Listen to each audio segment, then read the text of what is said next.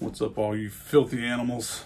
Uh, I really, really, really can say that I like this shit.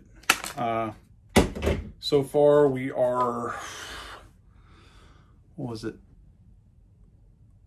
I'm like, I didn't bring that much ammo. Honestly, I actually brought plenty of ammo, but they rejected my, I forgot I brought a bunch of uh, the green tip and my range lets me go full retard burst firing, simulate auto fire. But they won't let you use anything that's magnetic, like the steel core shit, which for me is irrelevant.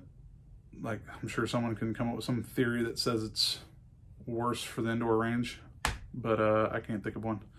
Uh, so this guy here, the recoil impulse is definitely different.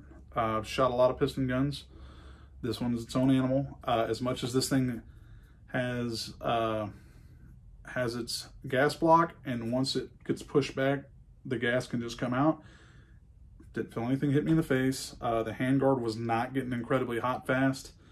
Uh, I need to work on accuracy, I'm sure, because uh, you know just to see what it's capable of. This thing threw some fireballs with, especially with this.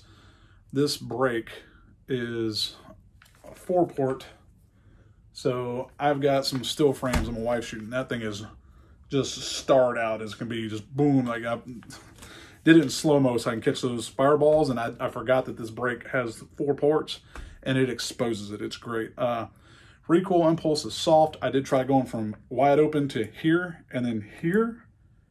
And I want to say the second setting, um, oh man, I'm gonna put it on video. Uh, you'll you'll be able to see it. The third setting, click click this way. That bitch wouldn't even eject the fucking dead shell because it's made for suppressor. Right here on wide open, it is soft, like incredibly soft. It's gassed very very well. Uh, it is new. I have not lubed it. Have not broken in. So I think one. I, I want to say one of them. Like it, I want to say it kicked out and didn't pick a round up. Some stupid shit like that no big deal. It's new. It's getting broken. I'm fine with it. And factory loads, you don't know if you might have one that's short on, on powder. Like, it's just the facts of life when you buy bulk shit, especially at a cheap deal.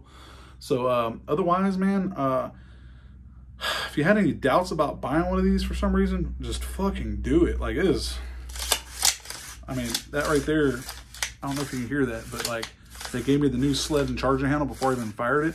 And the new sled, I don't know if it's thicker or anything different, but it definitely had a smoother finish so it's definitely not gritty at all for me there. It's, it's, you can, man, I just, this, I'm liking this.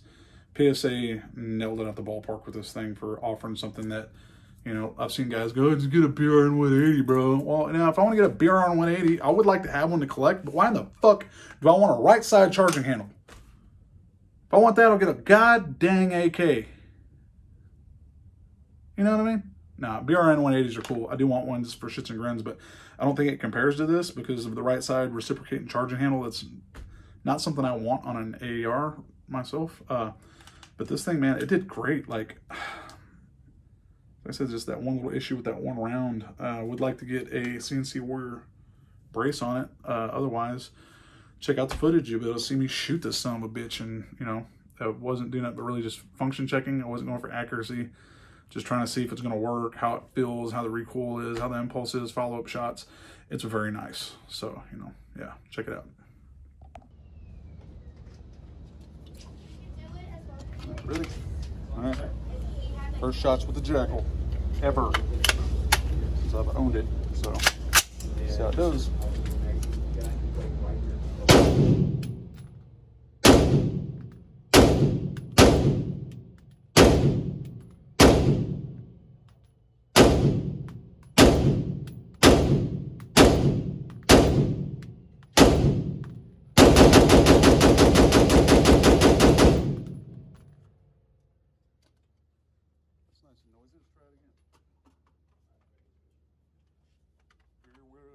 Impulse control.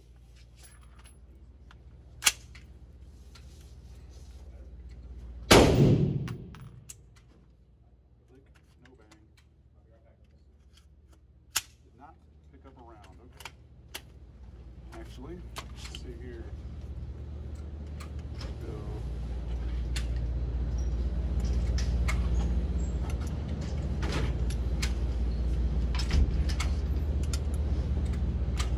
Different gas adjustment. See what that does.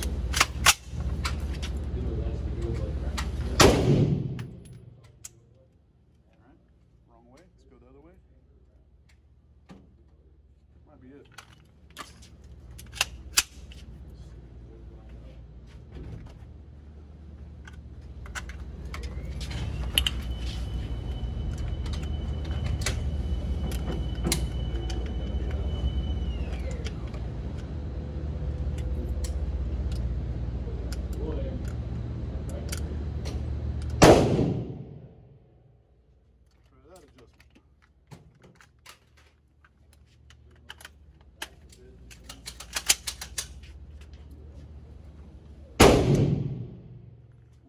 Didn't pick up anything. Yep, I think so. All right. So all the way up. That thing didn't even kick the shell out. Jesus.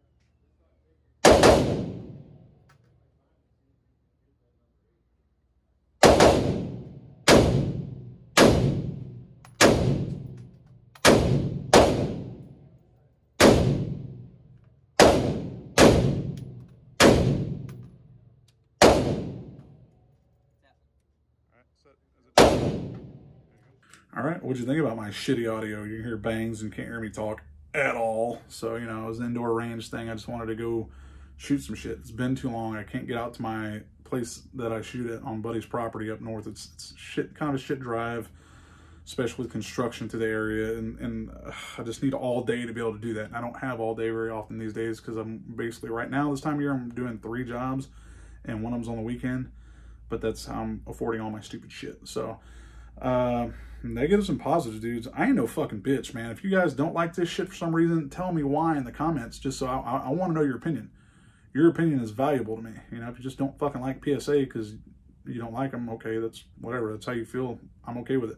I fucking hate SIG because, you know, they're touted as some, some guys think they're like some high-end shit and they've released some absolute piles of garbage and I actually saw uh, one of the SIG handguns uh, accidental discharge up in Canada capped uh, one of their Mounties or something. I don't know. I saw a little glimpse of. I'm like, great. Not even surprised. Every now and then you see a SIG goes off, drop, gets dropped, something, somebody gets hurt. Like it just, SIG is how you how you SIG fanboys just ride them on. I don't know because they've made some absolute piles of shit that if other companies that you don't like even a little bit did, you would shit all over those motherfuckers, man. Like you guys got problems. You know what I mean? That's just I'm just being real. Like you guys will shit all over anybody like you're on some high horse whenever you represent a manufacturer that has made some fucking abominations, some piles of shit. So do what you do. Just be aware that people like me, you know, was at a Pepperidge Farm remembers. So yeah, uh, definitely give me feedback, guys. If you haven't, give me a follow, please do. I know I, I follow people and I don't ever follow up with their shit, but having the subscribes work. Uh, I'm not on YouTube all that much, like to follow who I subscribe to because I just my brain's all over the place. I know there's some of y'all like that. If you can tolerate my ugly face and my shit voice.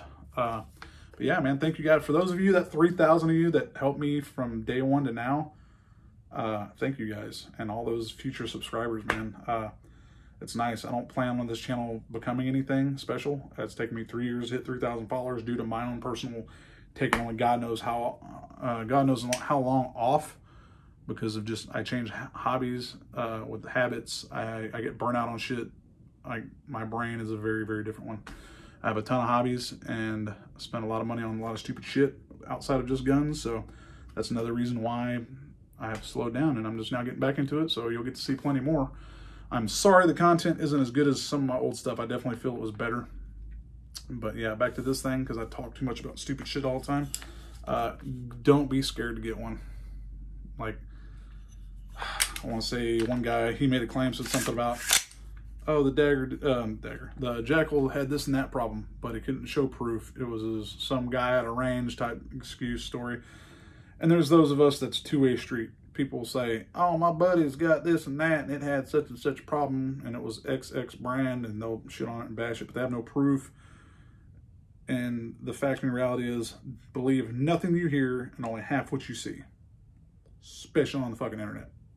So, you know, my brothers, uncles, cousins, sisters, aunt, boyfriend had this problem. I don't, no one gives a shit. Um, so, so far with this, I would like to change this. That's it. Uh, and get some irons like this thing is great. Like if somebody has tempted to get one of these, and if you have the cash, fucking do it. Uh, like I said, the recoil impulse is excellent. I do hope to do some accuracy testing and more review on it later.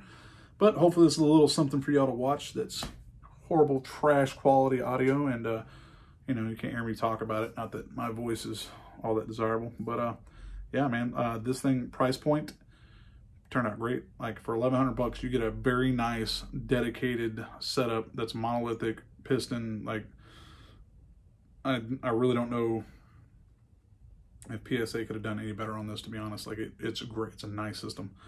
Uh, price point, I wouldn't have minded it being cheaper, but the badass part is you can buy the upper and the build kit for it and everything is there to slap on your existing lower and you can get into one of these for a lot cheaper than 1100 bucks man. So keep that in mind. For those of you that some of y'all are cool like like that you're like ah, i just need this fucking i just need a different upper. I got one lower i can have 20 uppers. I i have to have a lower for every upper just because that's just how i am you know because i'm a dumbass. Uh that's just what i do. Now uh some y'all are on a budget. Some of y'all just don't care to have but one lower or whatever you know do what y'all do. But get in there, get after it, get one, and if you have one, comment. Say, do you agree? Is yours a piece of shit, or you're just like, dude, I wish I'd have got one of these sooner? Like, let me know. All right. Catch y'all next time.